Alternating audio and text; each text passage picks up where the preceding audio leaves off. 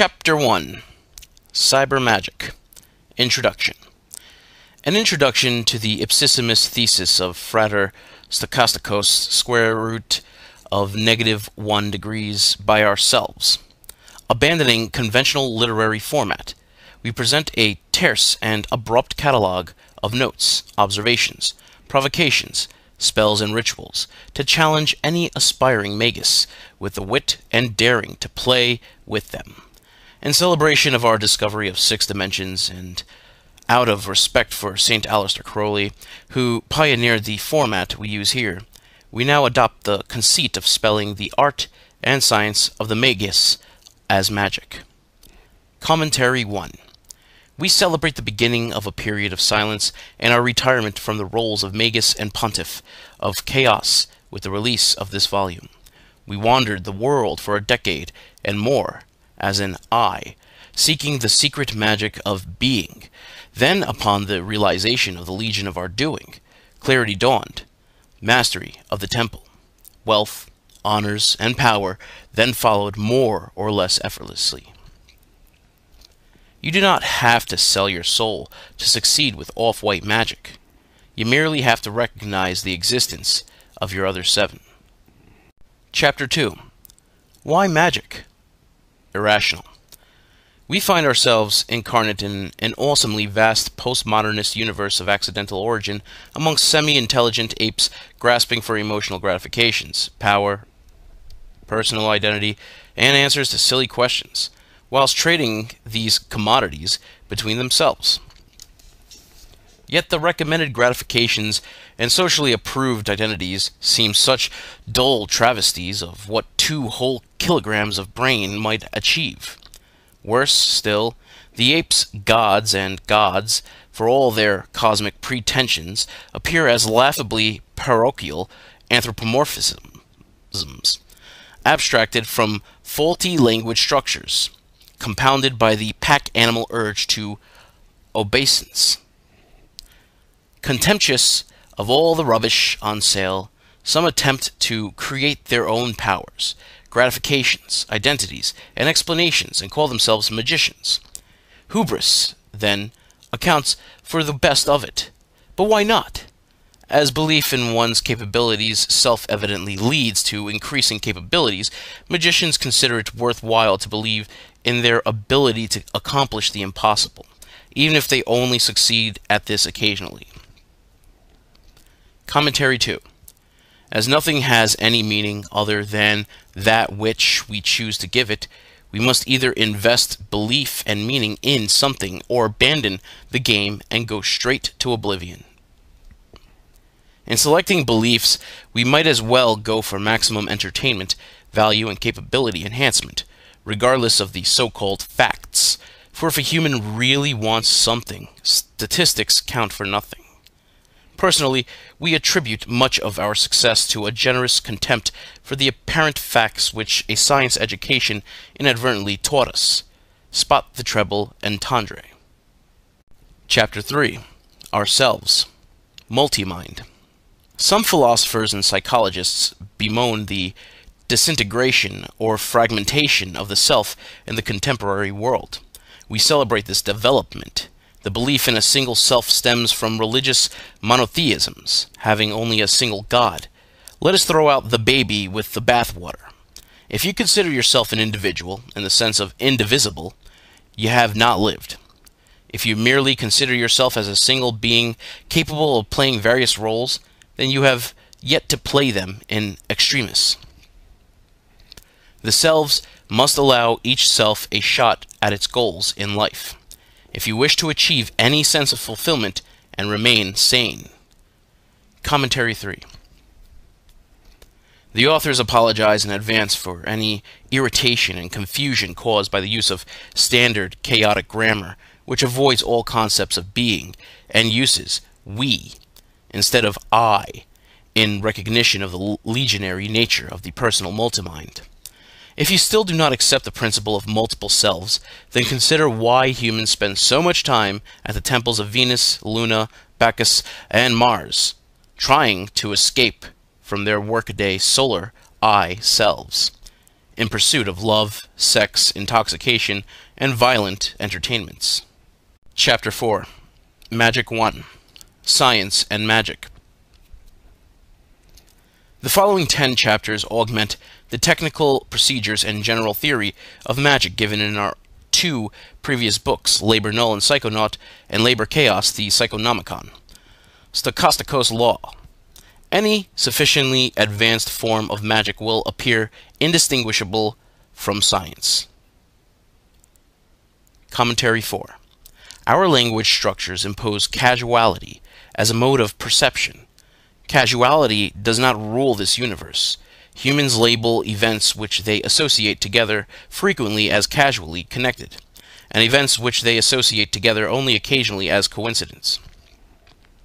Personally, we prefer to consider science as the study and engineering of highly probable co coincidences, such as the tendency of apples to fall downwards when dropped from trees. We prefer to consider magic as the study and engineering of less probable coincidences, such as the tendency of trees to drop apples when we ask them to. Everything works by magic. Science represents a small domain of magic, where coincidences have a relatively high probability of occurrence. Half of the skill in magic consists of identifying probabilities worth enhancing. Chapter 5 Magic 2 Magical attack. Attack by enchantment. Defend by evocation. Commentary 5. Remember and use the fact that imagined magical attack creates far more casualties than actual magical attack. However, do not risk trying to divine the nature of a real magical attack, for this will increase your vulnerability to it. For defense, evoke or create a general purpose servitor, cybermorph, eidolon, Forget about such naive procedures as erecting astral mirrors or shields. These have little other than psychological value. Attack or counterattack vigorously with properly and sigilized enchantments tailored to create highly specific effects. The bullet rather than the grenade. Do unto others as they would do unto you, but do it first. Such secrets we can reveal, having retired from active service after many campaigns. Field Magus. Stokastikos. Chapter 6 Magic 3 Wand or Cup Enchant long and divine short. Commentary 6 Wand or Cup If only one-fifth of your spells work, you have real power. If only one-fifth of your divinations work, you have a serious disability. Spells cast well in advance can take advantage of the copious chaos in the interim, but that same chaos will tend to reduce divination to a shambles. Chapter 7 Magic 4 Sacrifice Don't sacrifice, invest. By sacrifice, the religious attempt to invest in spiritual agencies. Magicians know better. They invest directly in themselves, cutting out that middleman. Sacrifice only those things which get in the way of desire not the thing itself. Commentary 7. Some neophytes imagine that you can conjure wealth by burning banknotes to the gods. Never insult money or blaspheme it by gambling, unless you want to banish it. If you want money, then sacrifice it only on opportunities which will make money. Treat money as a major god, for its capricious and awesome power rivals that of even love and war. Money acts as a vast, intelligent organism which lives by occupying part of the brain of nearly every one on this planet. Mammon seems far more awake at this moment than many gods we could mention. Chapter 8 Magic 4 Magical Medicine Paradox If homeopaths knew how homeopathy actually worked, it wouldn't work. Overstanding. Homeopathy works by magic, i.e., the parapsychological effects of operators' intent. Homeopaths have to believe in bogus theories to achieve real effects. Commentary 8. The erroneous theories of homeopathy arose from the early, purely empirical practices of immunization and an ignorance of Avogadro's number, which quantifies the number of molecules in a given sample. An understanding of the mechanics of active and passive acquired immunity, which came much later, would have prevented the development of such theories in the first place. Homeopathy has let magic back into medicine at the small price of demanding belief in a completely wrong theory by its practitioners. Spell Iatrogenic homeopathy apparently works well in black magic. The sorcerer antidotes the target with a potentialization of itself. Perhaps we should not have mentioned this. Chapter 9 Magic 6 The fourth equation of magic. Eidolonics. PE equals P plus open parentheses 1 minus P close parentheses L exponential 1 over P, where all factors lie on a scale of 0 to 1 and align. PE equals the probability of accomplishing something by the use of an eidolon. P equals the probability of the event occurring by chance alone. L equals the quality of the magical link. Commentary 9. The Eidolon Evocation. Conjuration. Let the magician fashion a material basis for a general purpose cybermorph, sparing no expense or skill. Let the magician physically carry the material basis at all times close to the body. Let the magician mentally carry the astral image of the material basis to the point of clear hallucination during any spare waking moment and, if possible, while streaming. Let the magician, by profound effort of ritual, fantasy, and imagination, treat the eidolons, material and astral forms, as sigils for a named semi-autonomous sentience. The magician will create a reusable multitask servitor by such conjurations, for which the first equations factor take an optimum unitary value. Thus only the problem of a magical link awaits solution in any particular spell of enchantment or divination at which the magician directs the eidolon. Although the neophyte must learn the many and varied conjurations of the art and science, the master will usually prefer the greater speed and efficiency that an eidolon cybermorph offers. Chapter 10 Magic 7 The fifth equation of magic. 0 equals the square root of s squared plus open parentheses ict close parentheses squared plus open parentheses i squared ca close parentheses squared plus open parentheses i squared c b close parentheses squared, where line s equals spatial separation, t equals temporal separation, ordinary time.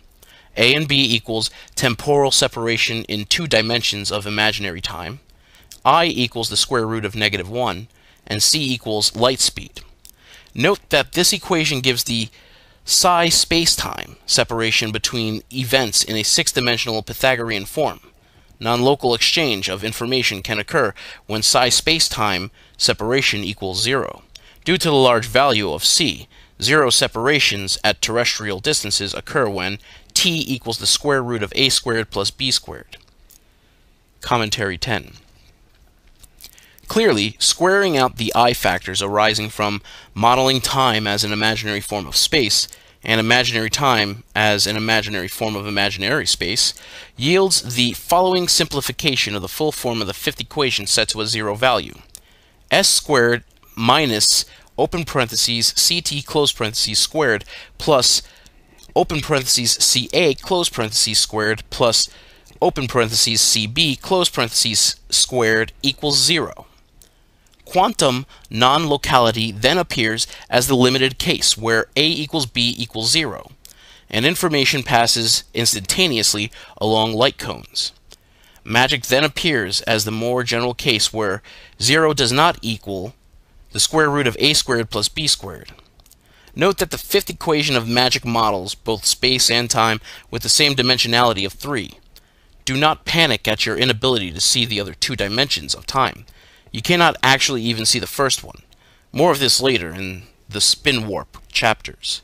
Chapter 11 Magic 8 Null path enchantments in six dimensional Psi Space Time. Figure 1 below shows the three dimensions of time with a circle of unit radius in the plane of AB. Enchantments launched by a magician at t sub 0 can act on the circle of probabilities at t sub 1 and may appear as changed conditions at t sub 2 when the magician arrives at t sub 2. Conversely, retroactive enchantments can have the odd effect of apparently altering t minus 1 properties, so long as these do not have the effect of preventing the enchantment. This can result in a change of conditions at t sub 0. Commentary 11. Enchantments thus land at a distance in the future twice as great as the radius of the circle of imaginary time probabilities with which they interact. Retroactive enchantment acts on a circle of probabilities at t sub negative 1, not shown in figure 1, which then feed back to the present at t sub 0, as we can only observe the instant of the present in t. Any debate about what really occurred at t sub negative 2 becomes academic. Note that the probability circle increases in size with time by a factor of pi t. Thus, if tomorrow contains a million possibilities, the day after contains 3 million, and chant along. Note also that an observer at t sub 0 can in no way observe or interact with so-called parallel universes, represented by the shadowy circle in imaginary time at t sub 0. They may well exist, but they may as well not exist, if you see what we mean. Chapter 12, Magic 9. Null divinations in six-dimensional Psi-Space-Time Figure 2 below shows the three dimensions of time with circles of unit radius in the plane of AB. Divinations performed by a magician at t sub 0 to scry events at t sub 2 or t sub negative 2 can only succeed if the magician can identify a dominant probability amongst the plethora of information in either circle. Only divinations which reveal unexpectedly high probabilities tend to count as successes. Note that you can only scry the imaginary past of an event at t sub 2, not the event itself. Commentary 12. The very act of looking in divination can tend to distort the probability of what you look at. Divination can thus act as enchantment in a way quite beyond the mere effect of self-fulfilling prophecy in the ordinary sense. Divination also becomes progressively more difficult with time, as circles of probability and imaginary time enlarge. We have never met anyone who could consistently divine accurately. Although a huge market exists for those who divine poorly or merely pretend to. Oddly, the market for those who can enchant reasonably well seems hardly to exist probably because only those who cannot regularly advertise, and those who can use it more directly to their own advantage. Perhaps the same applies to divination, but we doubt it, on account of the foregoing technical difficulties. If in doubt, always attempt to force the hand of chance. Chapter 13 Magic 10 Retroactive Enchantment Despite the ease with which this effect manifests in delayed choice quantum optics experiments, some magicians still seem to have difficulty in summoning the belief to make this work on the macroscopic scale. Try this experiment. Wait until you have lost something. Rather than conduct further fruitless searches, try and trick your subconscious into believing that you actually put the object in a particular place where you actually want to find it. If you have to, you can even use a location that you have already searched. But in this case, you will also need to make your subconscious recollection of having searched that place as hazy as possible. Then, whilst occupying your conscious mind with some powerful distraction, anger works well. Go to the chosen location and retrieve the lost object. Commentary 13. The subtle mental maneuvers required for retroactive enchantment depend upon suspending conscious deliberation and memory, and will fail if you try thinking consciously about your thoughts. Compare this kind of will perception coordination with the hand-eye coordination of catching a ball. Both work best when performed automatically. If you ever succeed with a trick like this, and you wish to retain and develop the ability without going mad, then we suggest that you do not seek alternative explanations, but that you accept the belief that the past has some mutability. Or better, still that no real time past exists, but that the imaginary time past contains probabilities restricted only by the observed conditions of the present moments.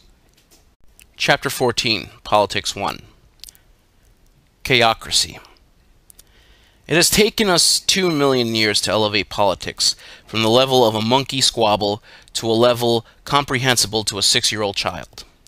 Towards the end of the 20th century, the question, what will succeed democracy, seems as unspeakable as the question, what will succeed monotheism, would have seemed in the 14th century.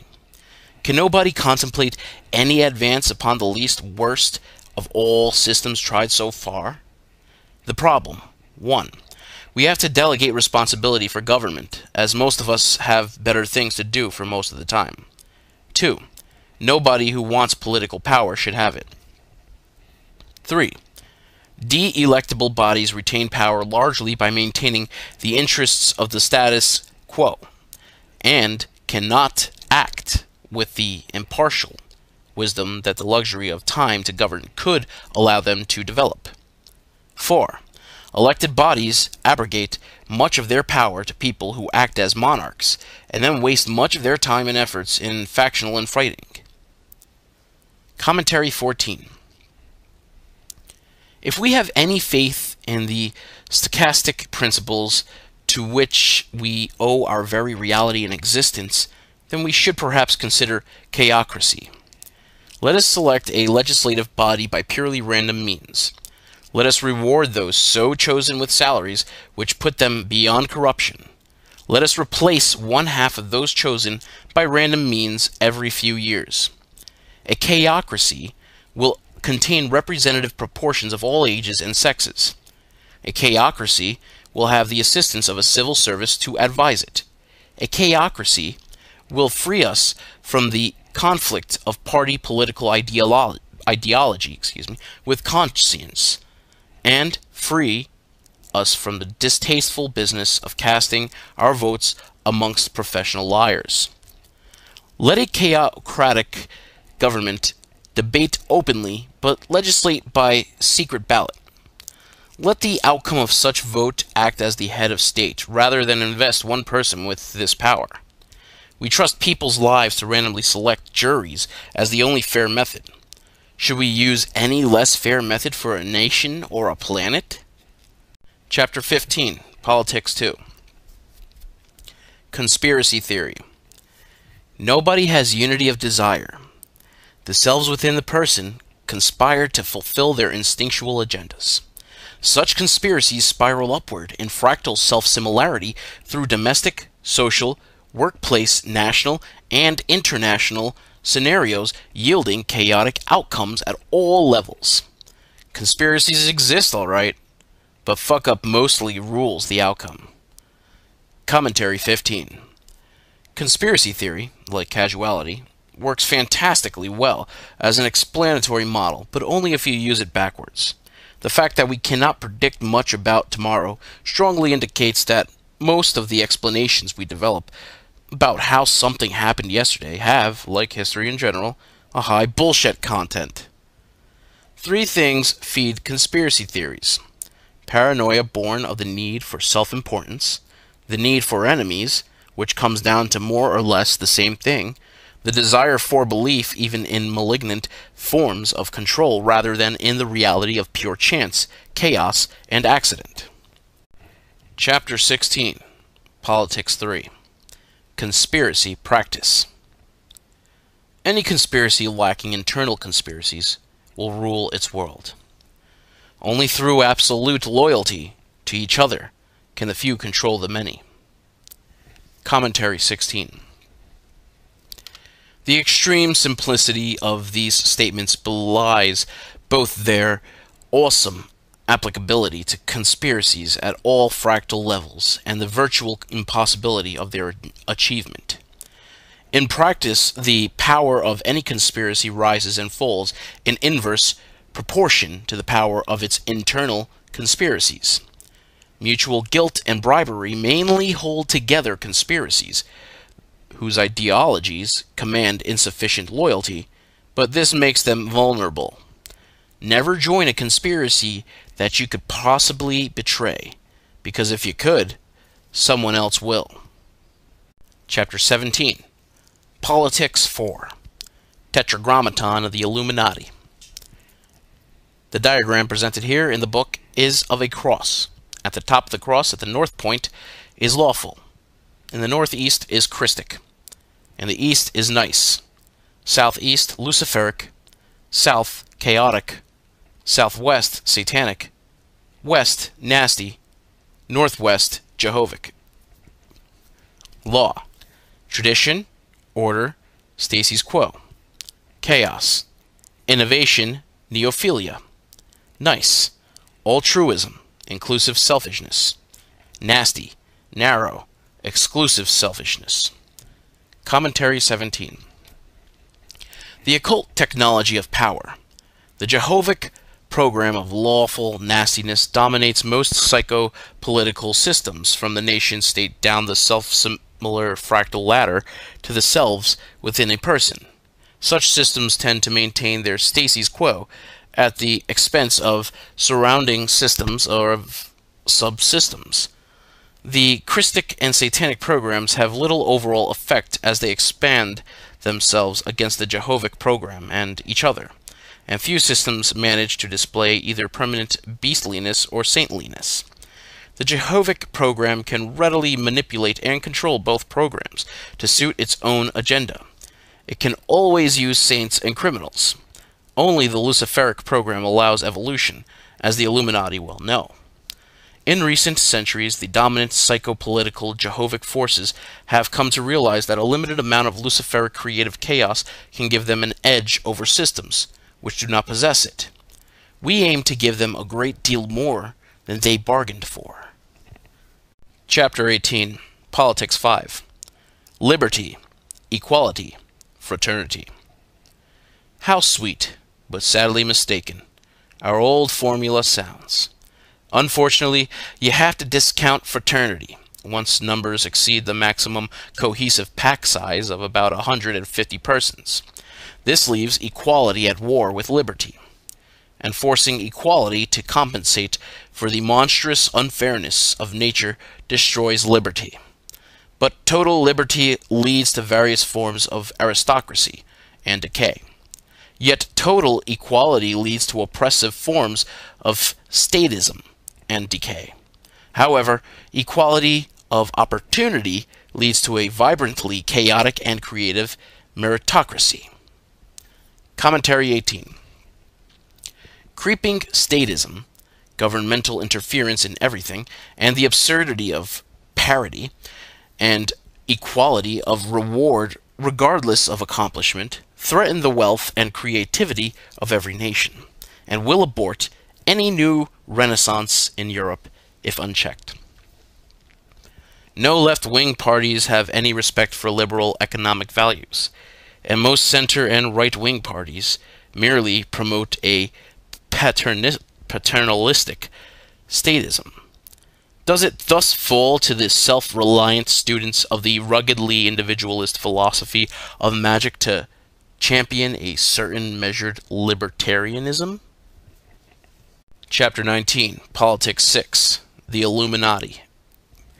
In view of the foregoing theoretical considerations, the Illuminati changed their tactics sometime in the 20th century, preferring to conspire against the stasis quo at all fractal levels simultaneously and to hide and generate the resources, information, and occult technology used for this by dispersing it amongst many seemingly innocuous enterprises and even into enemy camps. Leaking conspiracies provide the best possible vehicles for disseminating both information and disinformation. The enhancement of the fuck up factor in any enemy conspiracy subverts it far more effectively than direct assault. The Illuminati now structures itself amorphously and does not react to attack which would allow the enemy to structure the conflict. Rather, it attacks in directions chosen at random and then runs away to fight another day.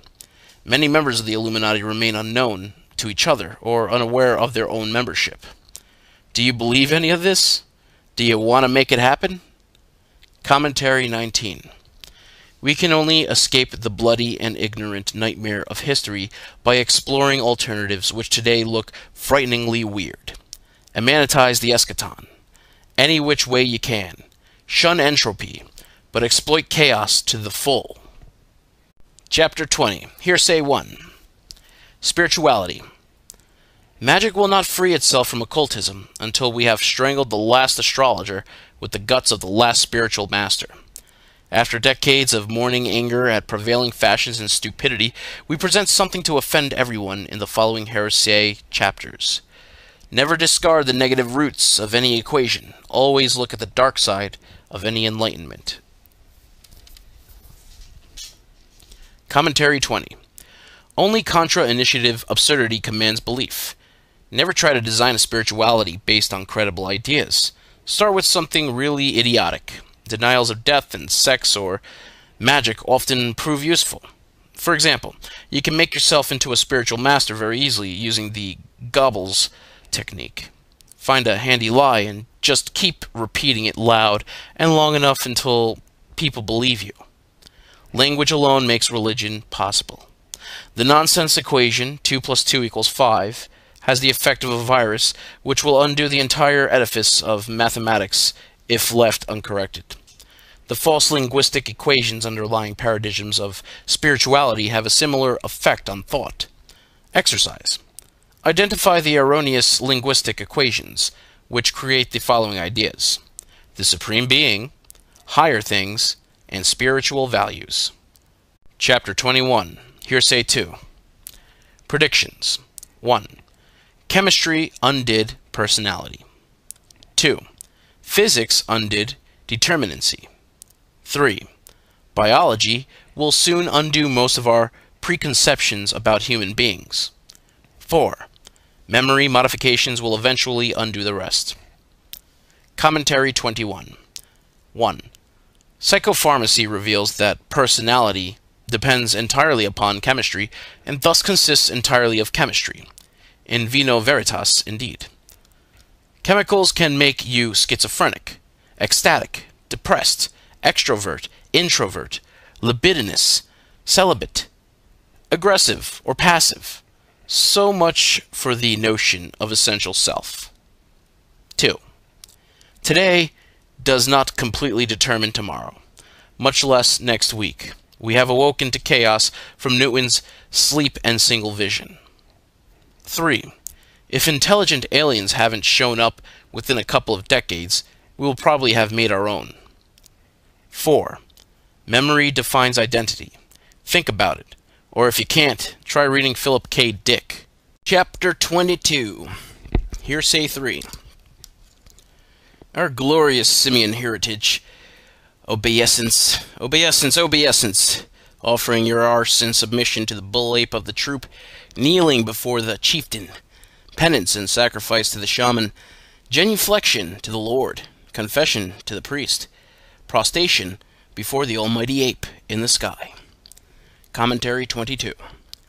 The expectation that we shall receive reward and escape punishment by acts of submission lies deep in our pack animal brains and contributes heavily to our hunger for spiritual masters and deities. It also endears that other arse-licking pack animal, the dog, to feeble-minded members of our own species. Chapter 23 Hearsay 4 Elitism our ancient Celtic ancestors said, Never give a sword to a man who cannot dance. We might well add, Never give a wand to anyone who cannot handle ordinary reality. Magic will tend to amplify whatever tendencies a person has. It will increase general incompetence in life, just as readily as it will augment competence. Although we have seen those who started off reasonably well organized and made a magnificent success of their lives with magic, we have observed plenty of unpromising cases taking a powered nosedive to disaster with occult assistance. Commentary 23 The best orders and the best books on magic make the neophyte work very hard to gain anything. For, in brutal fact, nothing of any value comes from involving people who do not pursue excellence for its own sake in magic. Magic does not offer an escape from ordinary reality. Rather, it offers a full-on confrontation with it, which one can easily lose. Chapter 24 Hearsay 5 The Abysses Obsession, Sophistry, Paranoia.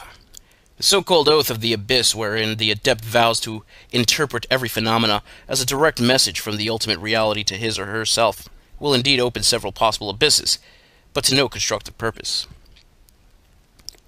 Commentary 24 Forget all that Golden Dawn and Thelemic stuff about the abyss and crossing the abyss. Three major pitfalls await the traveler on the short and dangerous path of magic. The initial exhilaration of accelerating into each may for a time mask mounting failure in reality. The abyss of paranoia pays initial dividends in self-importance, but as this effective paradigm takes hold, things will really start to go wrong in a big way, and enemies will fill the spaces you reserve for them. The abyss of sophistry pays initial dividends in ease and leisure, but the more you imagine yourself innately and effortlessly magical, the less effective you become. See the following chapter. The abyss of obsession pays initial dividends in a hypertrophied feeling of meaningfulness. However, no insight can have universal application, and the areas it misses will eventually explode in your face. Chapter 25 Hearsay 6 Dropping the Wand. Does the power of the way you live cause magic to occur effortlessly?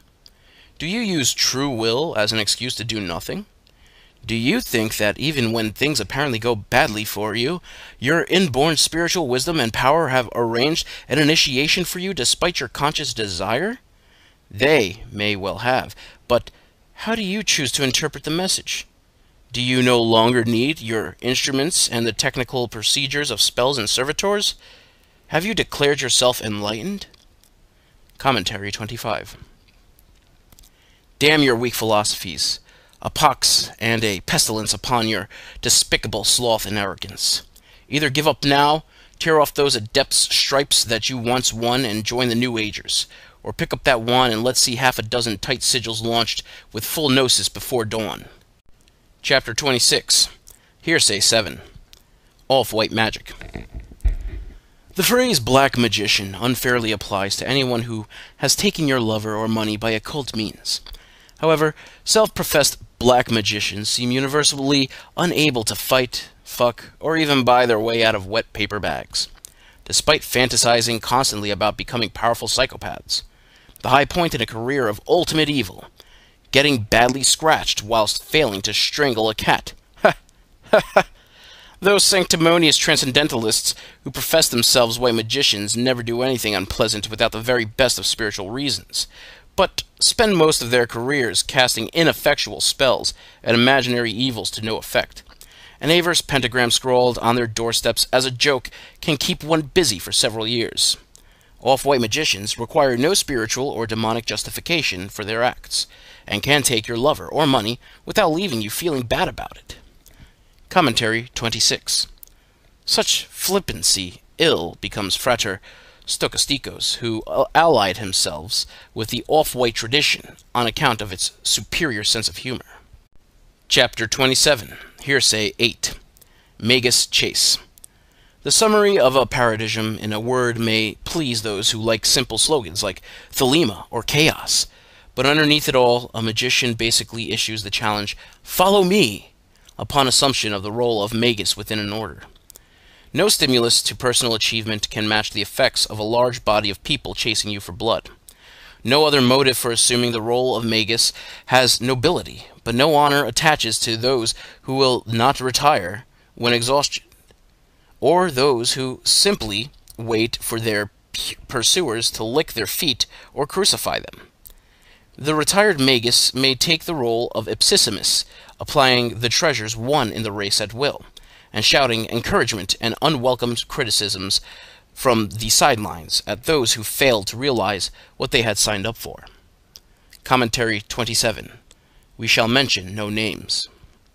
Chapter 28 Hearsay 9 Astrology Some star signs may seem more inclined to believe in astrology than others. In particular, those either born or nurtured with their intellect in feces make the best candidates. We once met an astrologer in a cast who had a perfectly rational reason for his broken leg. Commentary 28 The pseudoscience of astrology has no place in magic. Astrology has already died twice, once with the classical gods and a second time after the Enlightenment. The complete failure of contemporary psychology to create anything other than a vocabulary of intellectual rubbish has encouraged astrology to resurface. You can make money out of it easily. You can get people into bed with it sometimes. But otherwise, forget it. Chapter 29 Hearsay 10 New Ageism. I could love it. If dolphins had as much intelligence as cats and stopped trying to rescue sinking pieces of wood, if crystals actually did something useful other than grease the wheels of commerce, if the goddess had made animals taste less good, so I didn't want to eat them, if astrology could tell me anything other than the trite and the obvious, if whales could do something more impressive than merely occupy a lot of space, if corn circles came from enlightened aliens, rather than Wiltshire pranksters on Cedar, if Chandlers could speak in hieroglyphics instead of pop psychological twaddle, if sharing, caring, non sexist men could do anything useful in a crisis. Commentary 29. The hippies of 1968 broke the dress code and the sex code, stopped the major war, and created a healthy disrespect for all forms of authority. Mysticism and music functioned as enemies of the state in those days. The starry eyed idealists of today have submerged their critical faculties beneath a tidal wave of, slope, of slop marketed by those old hippies who now sell a user friendly dilution of their original enlightenment. Chapter 30 Hearsay 11 Dog God. In domesticating the wolf, we have reduced the wild ideal to grotesque parodies of ourselves, and so with our gods. Commentary 30. In the transmissible mental disease of God ownership, the victim acquires the megalomaniacal delusion that a being supposedly representing all of his most desirable characteristics actually rules the entire universe. Conversely, in the more minor acquired personality defect of dog ownership, the sufferer seeks emotional solace in a creature specifically bred to exhibit all of his own worst characteristics, such as easily bought loyalty and fawning affection, cringing obedience, alternating with loud emotional outbursts, and the tendency to bite the defenseless from behind and then run away and defecate in public. Dog owners prefer to play God to creatures like that, rather than address their own personal and social inadequacies. Deus est canis inversus. Chapter 31 Hearsay 12 The Antichrist. A vile abomination lurks in obscene luxury at Rome. Hired to an empire built on industrialized slaughter and bureaucracy without culture, self preservation at any price, the empire created a faith when its war machine failed, then hitched itself to any bloody imperialism to extend its power. The lords of Albion fought it for three centuries, and weakened but did not break it. Now, in desperation, it sends out its celibate minions to make the masses breed a Pyrrhic victory by sheer numbers, self-preservation at any price. Commentary 31 The Pauline Church originated from the publicity work of a grotesque misogynist fanatic who never met the obscure Jewish religious figure upon whose myth he founded a cult. At the Council of Nicaea, some centuries later, a desperate Roman emperor had the doctrines of the now diverse cults completely rewritten, redesigned, and institutionalized as any as an instrument of the state. After the collapse of the military and the political wings of the empire, the religious arm began work on an empire of faith and fear.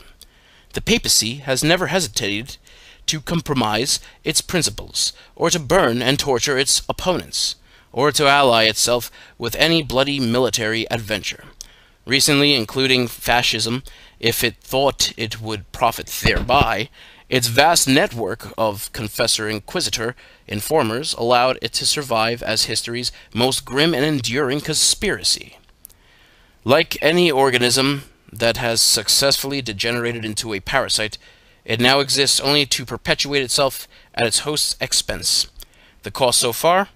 A hundred million killed, and history two centuries behind where it might have advanced to. Chapter 32 Hearsay 13 Fundamentalism. Do you feel confused by postmodern life? Unable to handle too much choice? Phased by information overload? Uncertain about so many gray areas? In need of some black and white certainties? That you need some simple slogans to live by? Intensely jealous of those who can handle modern life? That you need something to hate? Unhappy at flexible relative values? that the past offers more promise than the future? That the answer to your problems lies outside yourself? Then much that now pours from the fundament of the major religions may interest you, schmuck. Commentary 32. Just when we thought the antibiotic of rational enlightenment had finished off the worst of the theological viruses, along came virulent new strains to pollute and disease half the globe. Ah, well. Back to the lab. We cannot allow the exhaustion of modernism to occasion a regression to pre-Enlightenment medieval world views. Esoteric thought frequently acts as a precursor of entire cultural, cultural paradigms. Thus, we must oppose the medievalism inherent in both fundamentalism and much of the New Age philosophy with a vibrant postmodernist chaosism, or Taoism, excuse me. Chapter 33 Heresy 14 Filthy Fun. Oral sex stands as an enduring monument to human ingenuity, but the given proximity of the organs of generation and excretion explains much of human psychology and philosophy. Here in the diagram of a cross, the north is sex, in the northeast is four, the east is shit, the southeast is one, the south is death. The southwest is 2. The west is food. And the northwest is 3. Commentary 33. 1. Hygiene neurosis. 2. Dietary neurosis, vegetarianism, anorexia, etc. 3. Overeating makes as poor a substitute for oral sex as smoking does for breastfeeding. 4. Who has the most fun? A. Those who demonize sex as unpleasantly dirty. B. Those who demonize sex as pleasantly dirty. Or C. Those who go to the whole pig and reintegrate excretion into their sexual pleasures. Chapter 34 Hearsay 15 Immortality. If we had immortality, we would desire amnesia more. As we consist entirely of our memories, immortality would have no point. Paradox. Immortality for the human race would destroy the human race. If you meet an immortalist, you know what to do for your children and for the sake of your children's children. Commentary 34. Those who seek physical or spiritual immortality have not thought the issue through. Precisely, what of themselves do they want to reincarnate, or to go to heaven, or to live forever? As an eternally persistent memory would prove intolerable, we presume immortalists really desire some form of continuity of consciousness. However, continuity of consciousness arises only through a trick of memory. Herein lies the paradox. After a few hundred years, an immortalist would have either an intolerable burden of memories, enough to dull any experience, or would have discarded or erased memories to the point where continuity of consciousness had become meaningless. Chapter 35 Hearsay 16 An unfashionable hobby for many wizards. With a simple wand and chalice, you can perform the most chaotic conjuration of all. Launch an entirely new person, and thus cheat death and throw bombs at the future. We sometimes wonder if the obsession of medieval and Renaissance sorcerers with creating various golems and homunculi arose from their distaste at the sheer chaos and unpredictability of the simpler method of creating little monsters. Commentary 35.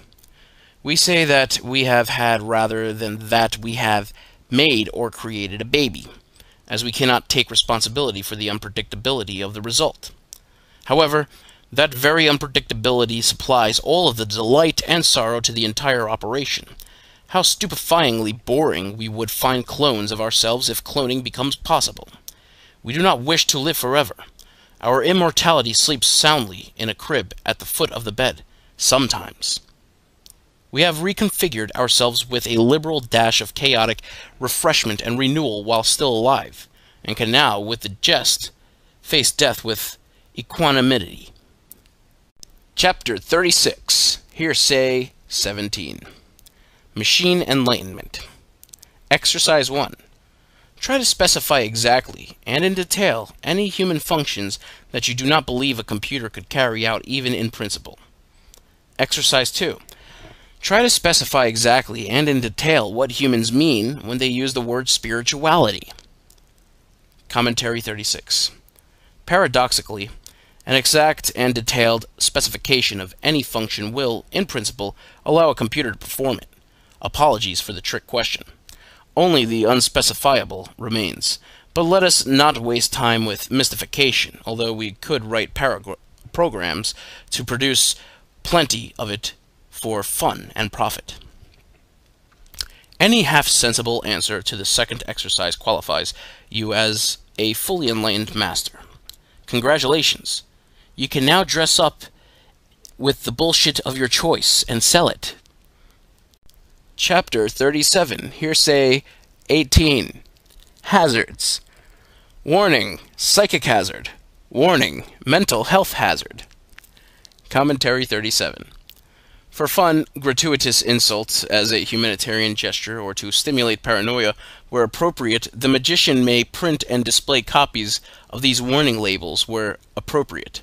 Standard international form requires psi hazard warnings in black on a red background, and mental health hazard warnings in black on an orange background.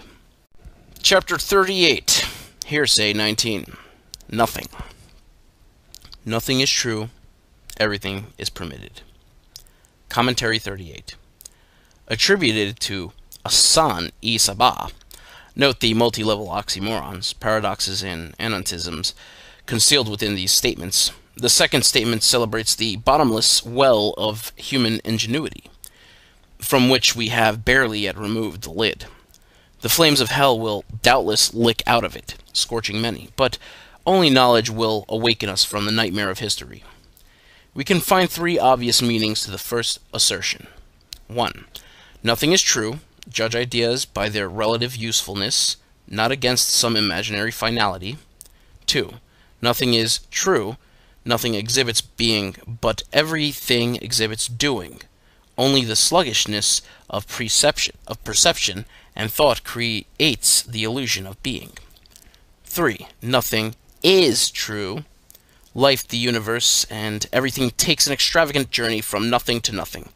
Let us therefore applaud the nothing and relish its extravagance. Chapter 39 Hearsay 20 a Taoist haiku. We believe in nothing. The chaotic void within, the chaotic void without. Between nothing and nothing, let us conjure great doing. Commentary 39. Any comment would mar the supreme simplicity of this haiku. Contemplate its every nuance. Use it before a ritual if desired. Chapter 40 Phenomenization 1 Time Extrapolate your cosmological observations with classical relativistic theory, and you will end up with such absurdities as the Big Bang and singularities in real time and space, which negate the theory you started with.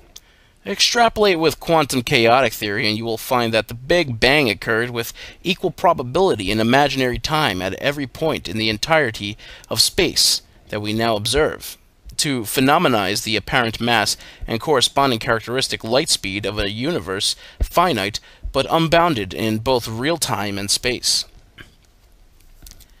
Commentary 40 It should come as no surprise that we can observe structures within the universe having a greater age than classical relativistic theory predicts for the universe. You can, after all, travel any distance you like in excess of 24,000 miles around the finite but unbounded surface of the Earth without falling off. Similarly, you can travel for as long a time as you like around the four-dimensional hyperspherical surface which constitutes this universe, although, as on Earth, you cannot ever arrive at the same space-time locus twice. The universe does not have any meaningful real age. Rather, it has a temporal horizon of the order of 10 to the 10th years at all points of space-time. Future generations will look upon the question of the real age of the universe with the same amusement with which we regard the medieval concern about the distance to the edge of the world. Chapter 41 Phenomenization 2 Finite and Unbounded Any finite and unbounded system of n apparent dimensions must actually have n plus n over 2 dimensions for closure. Consider the bending of a two-dimensional sheet through a third dimension to create a finite and unbounded two-dimensional spherical surface, for example. Our universe consists of a four-dimensional surface, comprising three dimensions of space and one of time, which achieves closure by bending through a two-dimensional plane of imaginary time. The plane of imaginary time thus lies orthogonal to our observed four-dimensional surface. Commentary 41. We concede that we have adopted a finite and unbounded universe as an act of faith in our own finite and unbounded imagination. Neurocosmology sets the limits of cosmology. However, this model at least has the virtue of supplying an answer to what lies outside of the universe and also what lies inside of it. Outside of the universe lies the ANA or ANA direction of future, imaginary time, which we may conceive of as having unlimited duration and information content or content, but no space, matter, or energy. Inside the hyperspherical four-dimensional surface of the universe lies the kata or kata direction of imaginary time of necessarily limited length. This asymmetrical or asymmetry creates entropy and irreversibility, and an apparent arrow in real time as the imaginary future contains more probabilities than the imaginary past. Chapter 42 Phenomenization 3 Thrice Upon a Time Time has three dimensions, as does space. We cannot see any of the time dimensions. A clock of or calendar measures the passing of time equally well in all three, just as a rule measures distances in any of the three spatial dimensions with equal ease. Any apparent conceptual problems and mysteries associated with imaginary time disappear when you realize that you can only experience one immeasurably small instant consisting of all three temporal dimensions. Classical and relativistic calculations and expectations and common sense model past and future events along the dimension of ordinary time whilst magical and quantum calculations and expectations model probabilistic events on the plane of imaginary time orthogonal to ordinary time. Commentary 42 Two dimensions, a plane, of imaginary time provides a field in which many possible pasts and futures can exist as probabilities. They also provide unlimited possible parallel universes to the present moment which cannot interact with each other or us. A single dimension of imaginary time would only allow a single possible alternative event. Three dimensions of time also arise from general considerations of symmetry, and can also supply an explanation of the properties of so-called fundamental particles, as we shall show in the spin warp chapters. Chapter 43 Phenomenization 4 Imaginary Time. Tangible phenomena readily submit to a measurement with so called real numbers. Thus, for example, we can have four apples or minus four apples if we happen to owe you four. Although time has little tangibility, we persist in measuring it with real numbers, even though for advanced scientific purposes we get better results by measuring time as an imaginary component of Minkowski space. Imaginary numbers appear as the square root of minus 1, designated i, raised by some factor. Thus, 1i, 23i, and negative 127i represent imaginary numbers. As imaginary numbers measure intangible phenomena so well, less confusion would have arisen if mathematicians had called them intangible instead. Human perception and real numbers have tended to reduce the enormity of the whole of intangible time to a thin stream that we call real time. Consequently, we have to use the rather weird mathematics of imaginary numbers if we wish to add the entirety of time back on to the convenient abstraction of so-called real time. Commentary 43. Memory and limited imagination create so-called real time by picking out a thin stream of dubious casuality from the intangible immensity all around us. Paradoxically, the convenient fiction of one-dimensional real time arises from our imagination, but the greater reality of the three-dimensional temporal continuum has to bear the somewhat derosity, or derosory, label of imaginary. To anyone who has so completely missed the point of all this that he asketh, Where lieth this imaginary time? We reply, Where lieth your real time? Where lieth all those things that you might do tomorrow? Where lieth all those things that you might have done yesterday? And where lieth both of those histories that contribute to the results of the double-slit experiment in quantum optics? Chapter 44, Anontology 1 Non-Being For those who would like to take the short and dangerous path to Taoist anti-ontology, nothing has being. Adjust your mind. You have a serious fault in the linguistic programs which structure your thought, which can have your effective intelligence.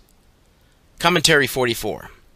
Attempt to describe being, and you can only actually describe doing. We observe only doing, we never observe being, existence, or essence. All phenomena, ourselves included, consists of processes, not of things, performing processes.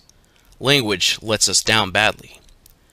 The false concept of being acts as a word virus, scrambling our thoughts, for nothing consists of other than what it does. I think, therefore I think that I think nothing more. The word virus, I am, lies at the root of the mental diseases we call religion. I am that I am, said Moshe speaking amongst himself as Jehovah, thus making four mistakes simultaneously. You cannot achieve a state of being, but you can achieve a surprising choice of states of doing. Nothing is anything else, although many events resemble or look like others. Every use of the word is conceals a loss of information and a reinforcement of narrow views and prejudice. Chapter 44 Anontology 1 Non-Being For those who would like the short and dangerous path to Taoist anti-ontology, nothing has been, or nothing has being, adjust your mind.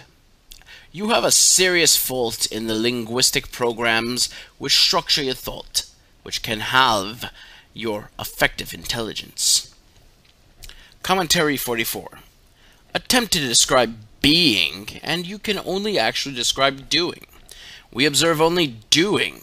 We never observe being, existence, or essence. All phenomena ourselves include consist of processes not of things performing processes. Language lets us down badly. The false concept of being acts as a word virus, scrambling our thoughts for nothing consists of other than what it does. I think, therefore, I think that I think, nothing more. The word virus I am lies at the root of the mental diseases we call religion. I am that I am, said Moshe, speaking amongst himself as Jehovah, thus making four mistakes simultaneously. You cannot achieve a state of being, but you can achieve a surprising choice of states of doing. Nothing is anything else, although many events resemble or look like others. Every use of the word is conceals a loss of information and a reinforcement of narrow views and prejudice. Chapter 46 Anontology 3 Anti-Spell 1 The Ritual To attack the spell of being requires cunning. Use stealth and deviousness and paper to assault the enemy's vulnerable extremities. Write without any tense of the verb to be. Are, am, is, was, be. Out, demons, out! Commentary 46. The word virus of being does not submit easily to defeat. Yet on paper, after some struggle, one may start to roll back the enemy. As it retreats, you notice the enormity of the territory it once occupied. Vast areas of assumption dissolve into fresh and fluid thought. Every careless use of the word am, arc, is, was, and be reveals, upon correction, a wealth of ingrained assumptions and lost information content. I believe arc meant to be are. The archetypal mythological gods of magic usually took credit for inventing words and writing language structures, perception, thought, and belief. Language thus creates our reality, but language can suffer from viral attack and initiate disease in our thoughts. Beware of the enormous sorcery contained in these seemingly innocuous anti-spells. They can render your binocular in the land of the blind. Anontology 4 Anti-Spell 2 The Ritual Having fought the virus of being to a standstill on paper, press the attack with spoken word. Eliminate being from speech. Precise speech begets precise thought, though most people assume the obverse. Pause to rephrase when temptation occurs, and risk the appearance of wisdom. Rephrase all mistakes, if only mentally afterwards. Only extreme vigilance guarantees liberation from the negative magic of being. Group Ritual In conversation, agree to prompt each other to rephrase all inadvertent anontic statements. Most of the nonsense that passes for philosophy, ideology, and religion then miraculously disappears. Commentary 47. Battle Plan. The table on here represents this. Part 1 Anontology Going up to writing. Going up to language. Anontology bends around writing into language as step 2. Above language is thought. Going around language from anontology all the way at the bottom is step 3, going to thought. So we have anontology 1, writing, language, thought, and then finally at the top is the model of reality. Anti-spells 1 and 2 should roll back the enemy and crumble the false model of reality. However, if resistance stiffens, launch Anti-Spell 3. Eliminate being from your internal dialogue. Chapter 48 Practice 1 Three Conjurations for More. As the Chaos monasticism exercise of the wand proved so successful and popular, and no book on magic seems complete without offering something practical to challenge the aspiring magician, we present operations of the other three classical elemental weapons. Commentary 48. As a spur to general proficiency and accomplishment, the current Sajalum, or S-H-A-J, A-O-L-O-M, square root 1 degrees of the Pact hath agreed that Pact members who achieve a high standard of work with the operations of the four classical elemental weapons may present themselves, their records, and their instruments to a magus of the Pact for possible accreditation as Master of Arms. Chapter 49 Practice 2 The Chaos Cyber Zoo Purpose To evoke and use magical servitors. Daily Observances The Lesser Observances 1. A proclamation of intent suitably worded. 2. Carry the pentacle at all times. 3. Visualizatory evocation of servitors, image or images onto the pentacle and dispatch of servitors to some work of divination or enchantment twice in each 24 hour period. The greater observances 1. All of the lesser observances 2.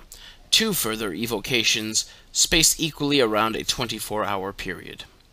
The extreme observances 1. All of the greater observances 2 the replacement of one of the visualizatory evocations with a full ritual evocation of the magician's devising to include a spoken address to the servitor, etc., etc.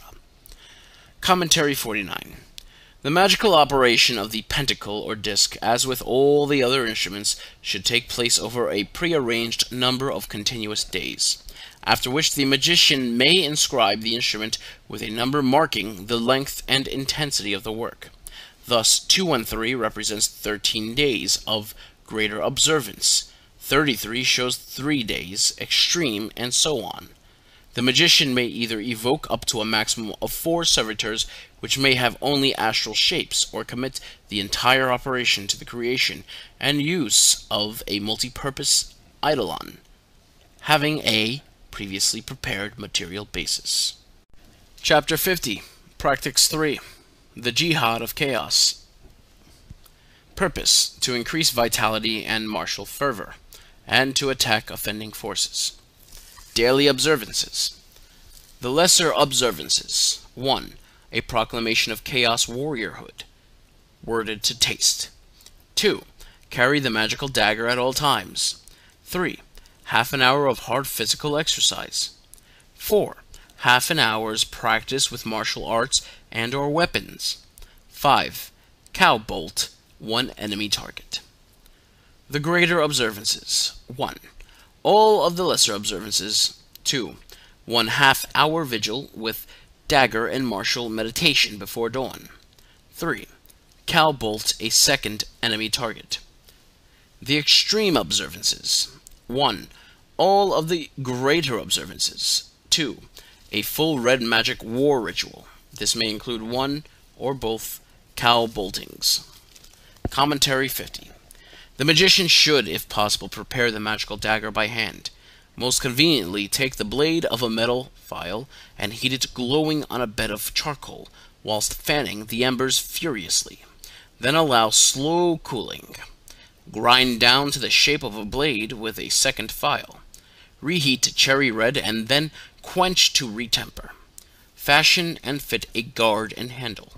Pass the used second file to a worthy colleague. To cowbolt a suitable anti-chaotic institution or group, prepare a suitable sigil. Visualize it astrally onto the dagger. And astrally hurl the resulting missile at the target. Alternately, hurl the dagger physically at a symbolic image of the target with full gnosis. Chapter 51 Practice 4 The Void of Chaos Purpose To seek inspiration or augury. Daily Observances The Lesser Observances 1. A proclamation of intent to access the chaotic void, suitably worded. 2. Bear the chalice concealed with you at all times, except during an exposure. 3.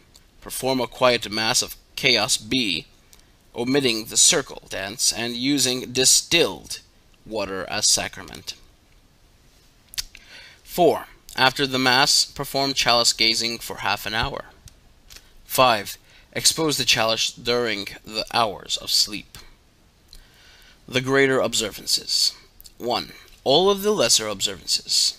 2. A further half hour of chalice gazing.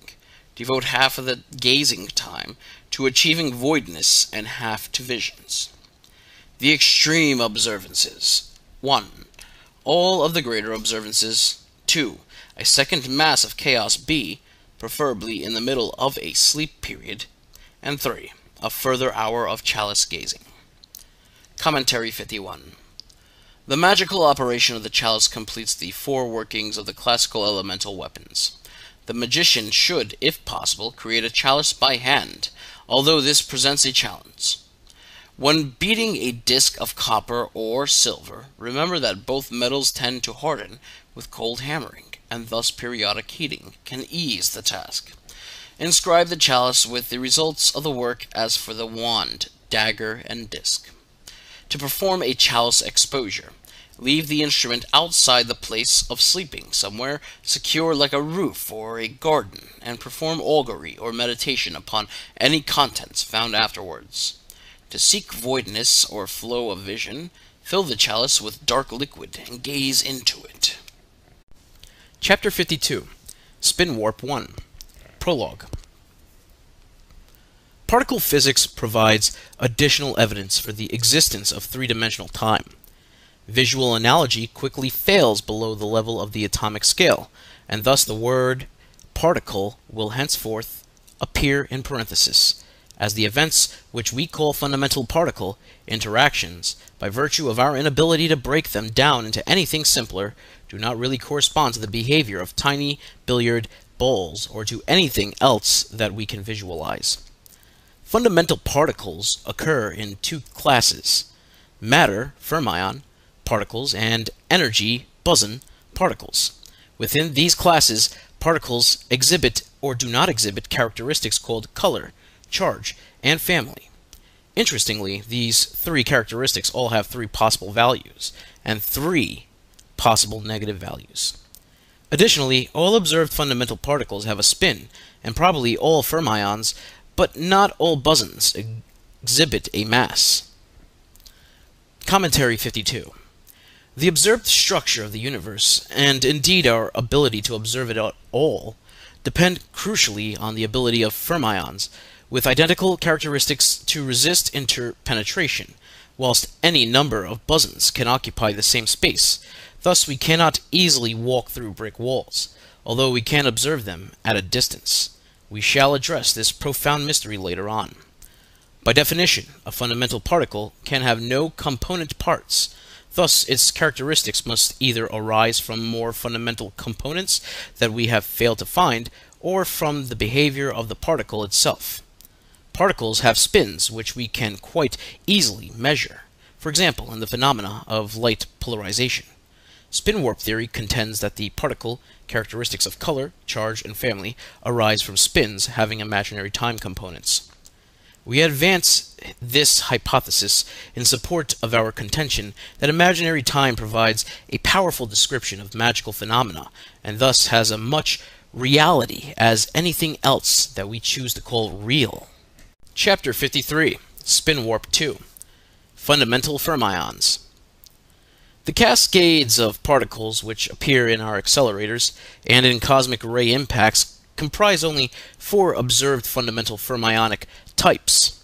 One type of quark has a single unit of charge, or anti-charge. The other type of quark has two or minus two units. Electrons have three units of charge, or anti-charge, normally designed plus one or minus one.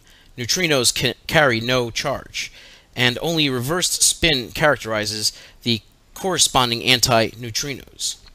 All fundamental fermions have a single unit of spin, designated plus or minus half. All fermions carry one, two, or three units of the family characteristic, and quarks can have any one of the characteristics called color. Virtually all the matter we observe around us consists only of quarks, from the first family combined to form proton and neutron quark triplets orbited by the first family electrons. Although large numbers of antineutrinos fly through our bodies every second to negligible, negligible effect, antiparticles seem otherwise very elusive, and the universe would, on the surface of it, not appear to need any of the heavier quarks and electrons from families 2 and 3 to do what it does. Commentary 53. Although particle accelerators can make fermionic antiparticles, and a few show up in cosmic ray showers, strong evidence exists for the virtual non-existence of any substantial amounts of antimatter in the universe.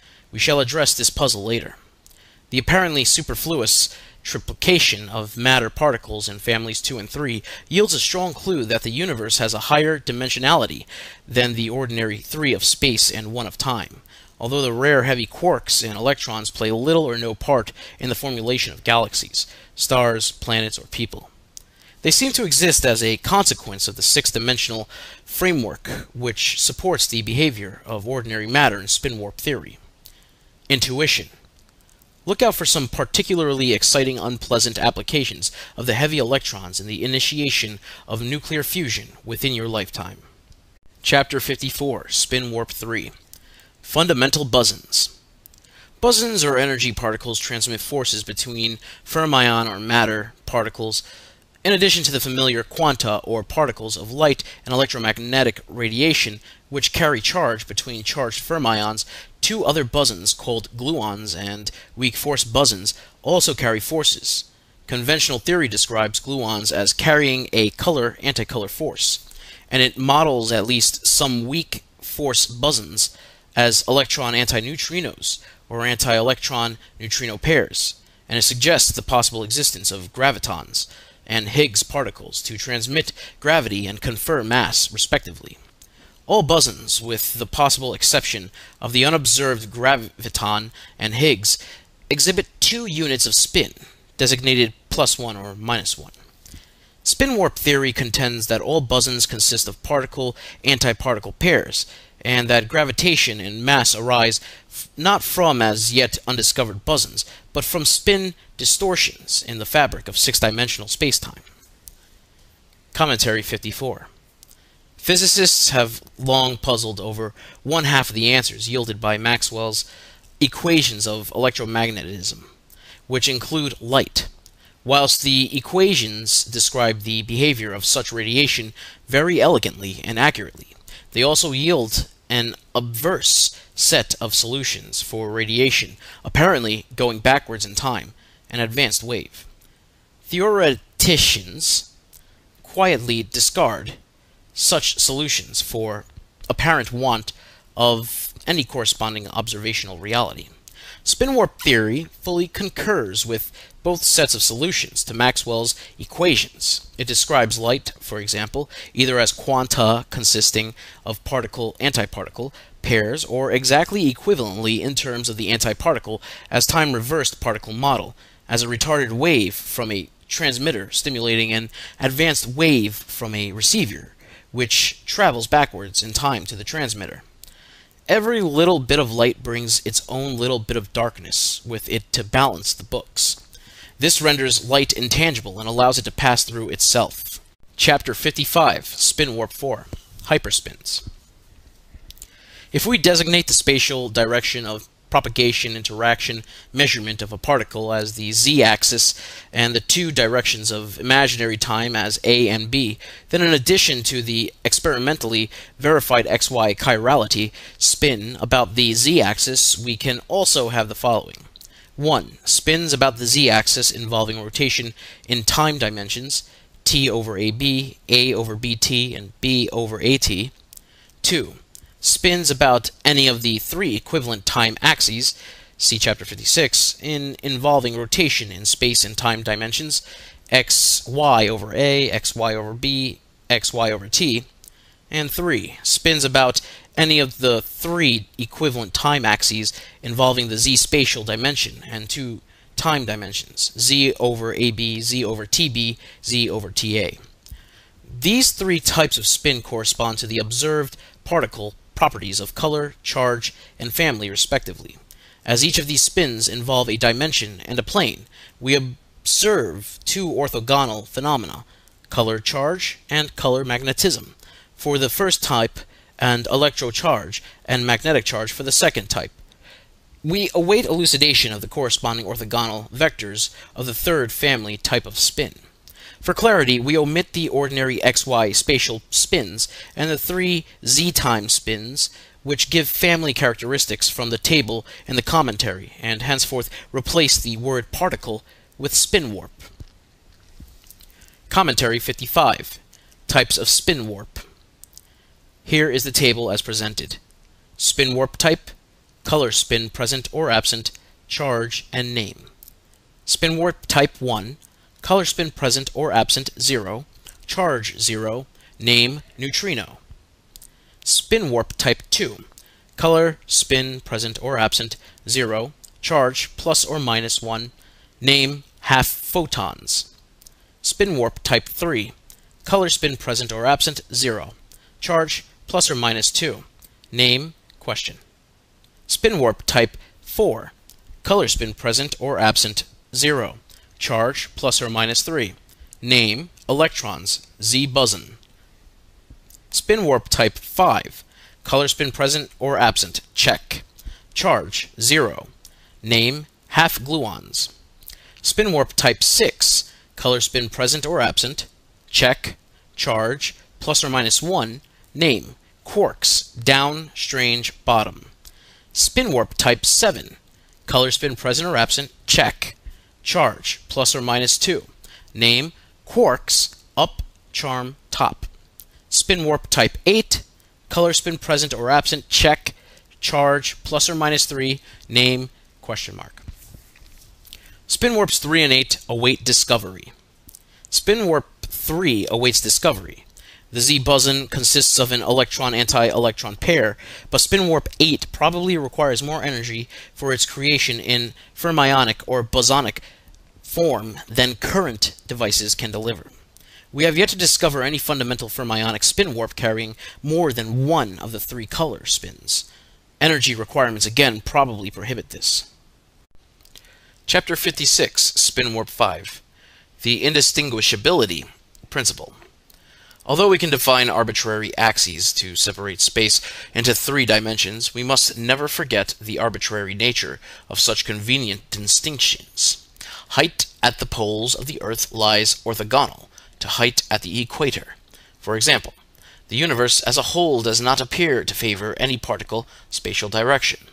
An analogous situation exists with respect to time except that with the three dimensions of time we have no perceptual equipment or instruments with which to define coordinate axes, as all perceptual equipment or instruments only register instants of now.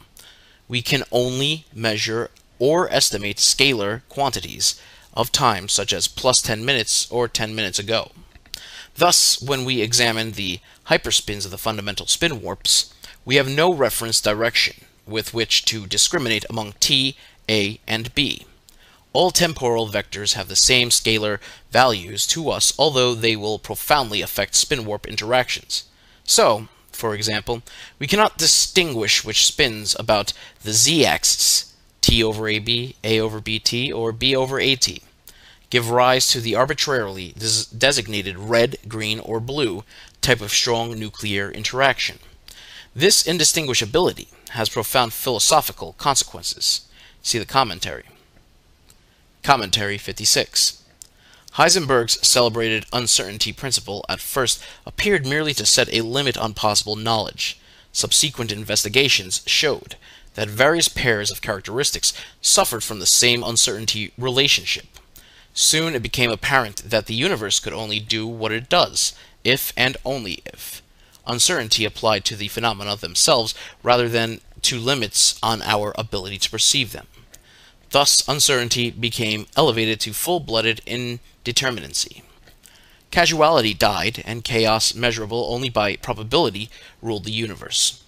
Now, in terms of the indistinguishability principle, the behavior of the universe appears chaotic because we have no perceptual equipment or instruments to distinguish among the three temporal dimensions, whose collective effect thus appears to us as probability. If, as appears the case, the universe itself makes no distinction, then chaos reigns, and we can define magic as the science and art of forcing time into desired patterns by will and perception. Towards the close of the 20th century, it appears, to the best of our understanding, that we inhabit an indifferent, if not hostile, universe, devoid of any justice or meaning other than that which we choose to create. Thus it falls to all of us to create these things, or the reverse of these things, and to accept or to attempt to modify the consequences. No truth, every possibility. Chapter 57 Spin Warp 6 Exclusion The Z-time family spins of all spin warps correspond to their spatial displacements in the direction of propagation over interaction over measurement. The magnitude 1, 2, or 3 of this spin denotes family group only.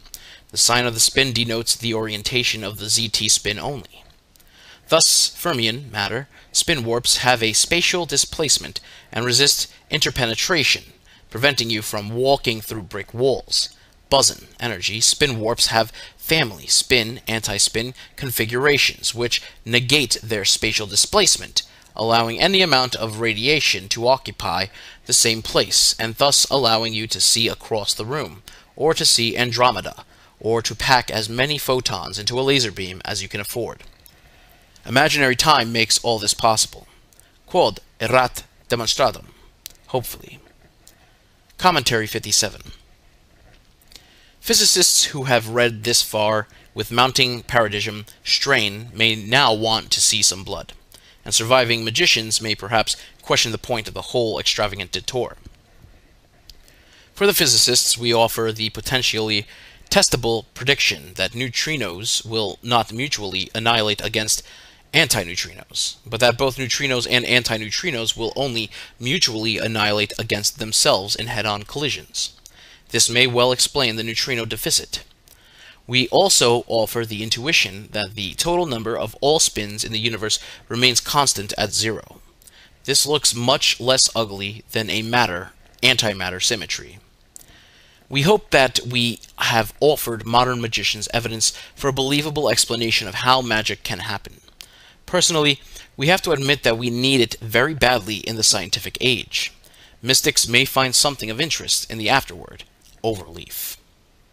Chapter 58 Spin Warp 7 Afterward Within spin warp theory, all three dimensions of time contribute equivalently to those almost unimaginable events that we can call fundamental particles or spin warps. Somehow this symmetry seems to break when we apply measurement and thought to our apparent reality, and we end up with a rather diminished view of time. It seems that we can perceive only one point like instant of time. And thus, when we attempt to join up all those tiny points by effort of memory or expectation, we end up with a one-dimensional line instead of the mighty solid structure of bifurcating possibility that surrounds us. Do spin warps consist of distortions in the fabric of space-time, or does space-time arise from the effects of spin warps? Or does the almost incomprehensible reality lie in the equivalence of these two statements? Events consist only of their doing. Commentary 58. Time has width. Our inability to experience more than a tiny fraction of the length of time directly mirrors our inability to experience its width. More things probably happen in the width of time than our sanity could possibly cope with. Do you realize that in some of the futures of the moment when you read this, you could die or have an orgasm within three minutes? Or maybe both if you start now. Chapter 59 About the author. The publishers requested this. The author values ideas above personality and thus, for example, prefers to read science fiction rather than soap opera. The author experimented with mediocrity until the age of 25 and then decided the excellence offered better opportunities. The author still takes his view at 43, despite frequent exhaustion. The author chooses to maintain an antique and idiosyncratic code of chivalry, honor, and heroism in an era largely devoid of such things, just for the antinomian fun of it. The author values uniqueness in an era of mass production and consumption, and values self made, or at least handmade, artifacts above all others. The author captained the magical pact of the Illuminates of Thanateros for a decade and derived immense satisfaction from the progress made in the theory and practice of magic during this period, but grew to despise the slavish imitation and treachery with which many mortals seek to advance themselves. Commentary 59 The author does not wish to burden others with the task of emulating the multiple eccentricities of his lifestyle, sexuality, dress, hairstyle, or manicure. We leave that to the Aleister Crowleys of this world. Thus, without photographs or style tips, we arrive at the end. Chapter 60 Epilogue after five years of struggle, we wrote this book in a frenzy, to the accompaniment of thunderous music, partly for the exhilaration of doing so, but mainly in the hope of reaching a few persons of like minds. The magical pact of the Illuminates of Thanateros, which body already contains a number of like minds, provides the following contact addresses. BM 8482, London, WC1N 3XX, England. Caput Corvi, Postfach 303, A1131, Vienna, Austria. IoT, P.O. Box 17995, Irvine, California 92623, USA. We have a zillion things to do now, so don't expect another book until the next millennium.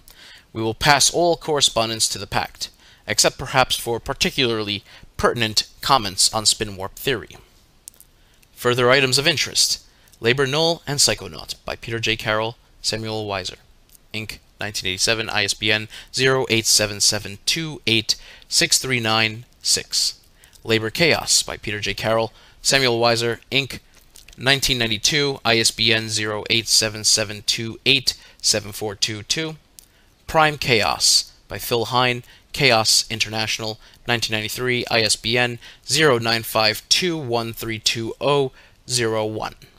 Condensed Chaos, An Introduction to Chaos Magic by Phil Hine, New Falcon Press, Publications, Temple, AZ, Arizona, 1995, ISBN 156184 117X.